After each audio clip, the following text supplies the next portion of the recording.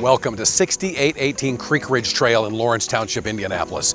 This is one of the homes that has the great Lawrence Township lot traditions of wooded and deep and hilly. It's an absolutely beautiful setting five bedrooms in this house, but guess what else? We've got a walkout to the lower level. Walkout has a wet bar. Walkout has a workshop. Walkout has its own basement. Walkout has a bonus room. Walkout has a bathroom down there. This is a house that has incredible living potential across the property. It's one you're going to want to see, and when the final touches are finished in the kitchen, it will have new appliances, new countertops, fresh paint throughout the entire home. It's all been painted in the gray and neutral tones that everybody loves right now. It's a property you'll want to see as it gets going in full force on the market. Again, I'm Greg Cooper with Compass Real Estate. You can reach me at 317 441 7166 for more questions.